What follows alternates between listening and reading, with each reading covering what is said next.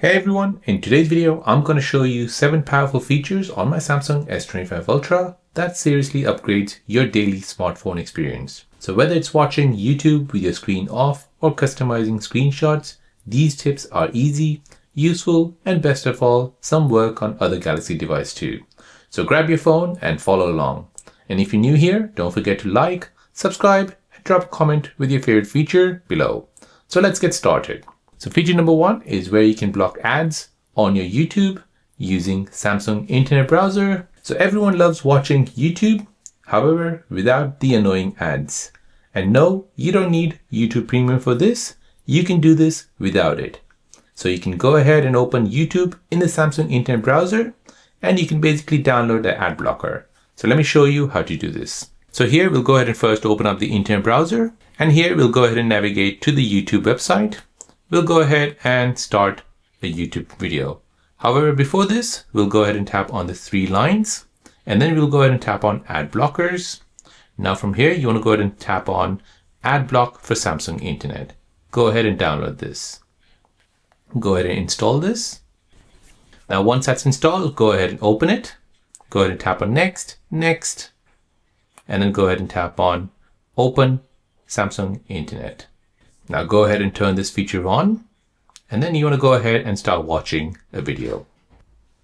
So now with this, most ads on YouTube videos will disappear. However, you will see some ads, but this will basically save you time, data, and will give you a cleaner, uninterrupted YouTube experience right from your Samsung internet browser. Feature number two is where you can play YouTube with your screen locked. No more YouTube Premium needed. So if you want to play YouTube videos in the background with your screen locked, even without premium, again, just use the Samsung Internet Browser. So here we'll go ahead and open up the Samsung Internet Browser. We'll go ahead and navigate to youtube.com. Next, we'll go ahead and tap on the three lines here at the bottom right, then tap on settings. Now you want to go ahead and scroll down and find useful features. And here, tap on background play and make sure this is turned on. Now, once that's turned on, go back all the way go ahead and open a video where you want to play it in the background on your lock screen. Here you want to go ahead and tap on this full screen button. And then now you want to go ahead and tap on home. So now once you do this, you'll notice that the Samsung Internet Browser has come in your notification. If you tap on it, you'll see that it's still being played. The audio is still being played. However, you're not seeing any video. So this is perfect for listening to podcast, music, or long interviews without draining your battery by keeping your screen on. You can go ahead and just lock your phone. And as you can see, it is being played in the background. I'll just increase the volume. So as you can see, it's still being played in the background. So you can basically play the video, switch apps, or lock your screen, and the audio keeps playing in your background. Feature number three is where you can go to a website from a screenshot. So have you ever taken a screenshot of a web page and later forgot where it came from? So with Samsung's smart screenshot feature, you can basically tap on the screenshot and go back to the original website. So let me show you how to do this. So here is an example. I'll take a screenshot of this. And now I've taken a screenshot of this Tesla Y website. Now I'll go ahead and close this website so I'll go ahead and clear my tabs.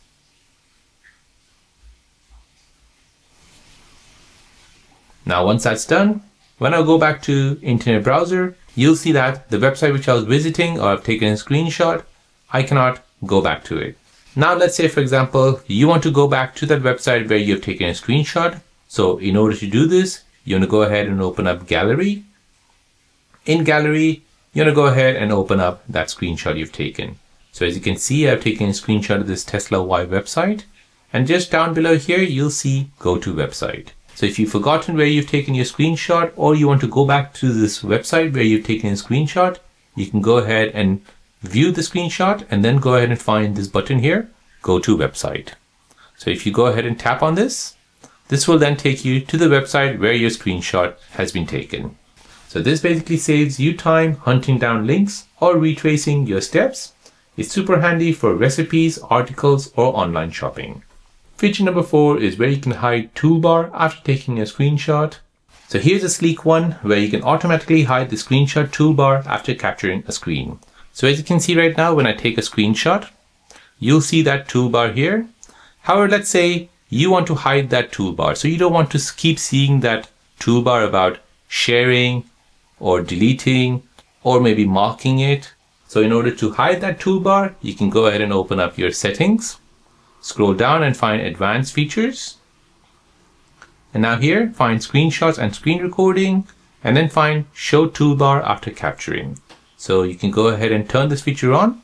So here basically you'll hide this toolbar after capturing. So here when I take a screenshot, there's no confirmation of a screenshot has been taken as you don't see a preview and you don't see any toolbar. So this basically keeps your screen clean. It lets you take multiple screenshots faster and it's great for long reads or chats.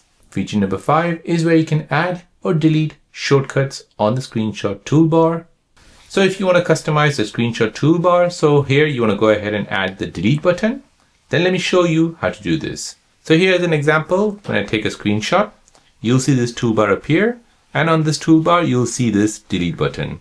Now you can go ahead and choose that if you take a screenshot, if you haven't taken a proper screenshot, you can go ahead and press delete and do it again. So in order to add the delete shortcut, you can go ahead and app, open the GoodLock app. In the GoodLock app, you're finding the Nice Shot module. From here, you want to turn this feature on and you want to go ahead and tap on add delete button.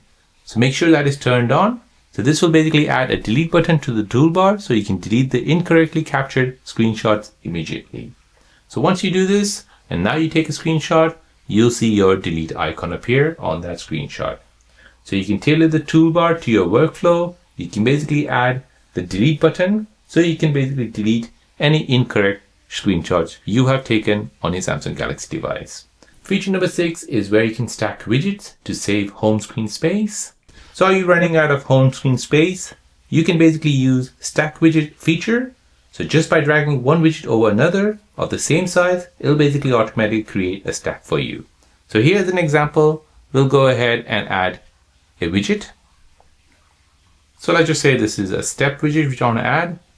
So this is the same size as the top one. Now, if you want to stack this widget so that you can add something else here at the bottom, you can go ahead and place this on top of the other one.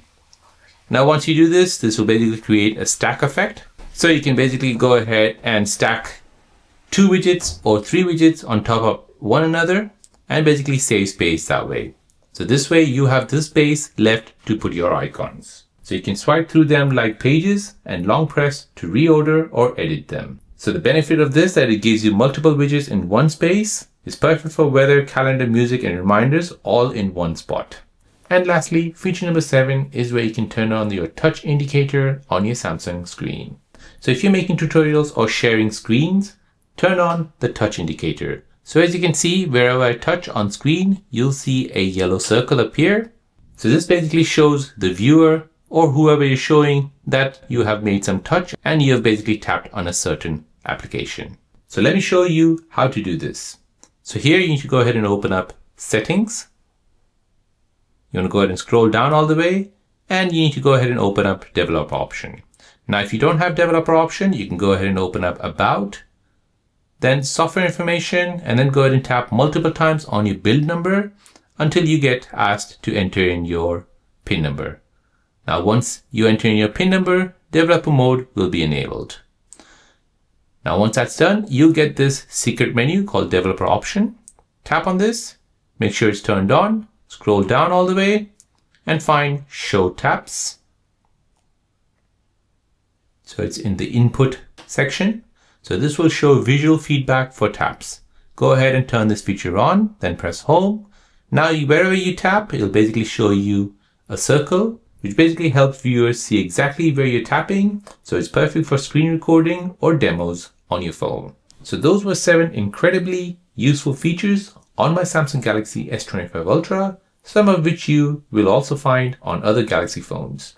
Which one was your favorite? Or do you have a tip I didn't cover? Let me know in the comment section down below.